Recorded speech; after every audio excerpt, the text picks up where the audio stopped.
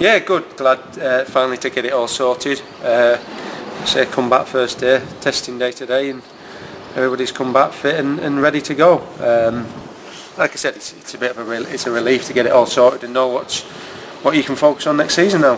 Mm. And of course, you're going to be player coach again. Um, you're looking forward to the challenge. Yeah, I, I I extremely enjoy, enjoyed it last year, and obviously things went well.